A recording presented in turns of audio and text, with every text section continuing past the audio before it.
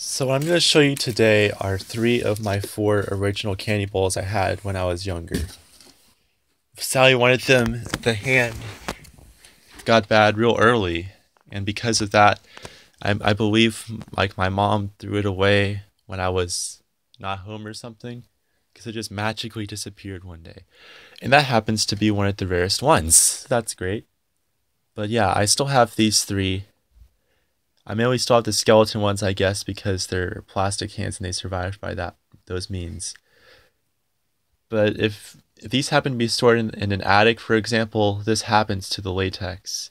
Because don't get me wrong, there are still some out there with good latex, like hands and arms, depending on the bowl, but mine were just really unfortunate where that didn't happen.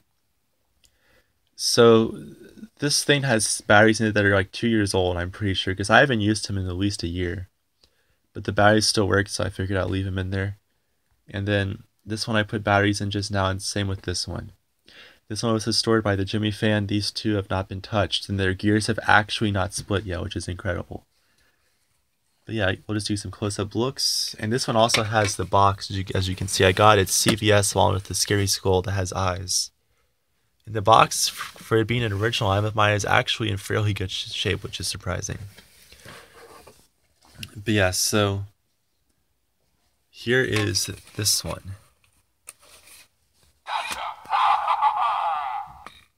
So yeah, it's just sort of weak. I think that's the spring. As you can see, it's the original model, so instead of going up, the hand going back up right away, it stays down for the whole phrase, which is cool.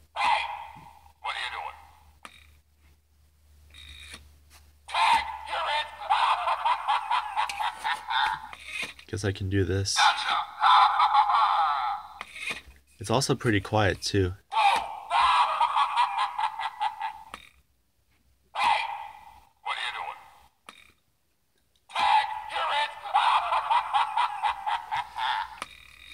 Definitely an original. I mean, the batteries may be low, and if they are, I'll just make this video again, I guess. delete the old one.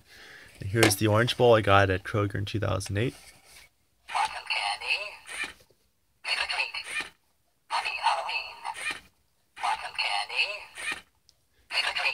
So yeah, pretty quick activations there. And then this has the same audio, though it sounds a little different. There's a few random things in there too. See, as you can tell, it definitely sounds a bit different. Oh yes, and I got this at Target in 2008 as well.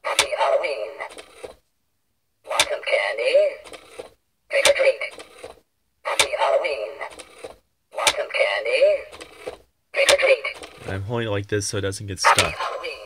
Like that.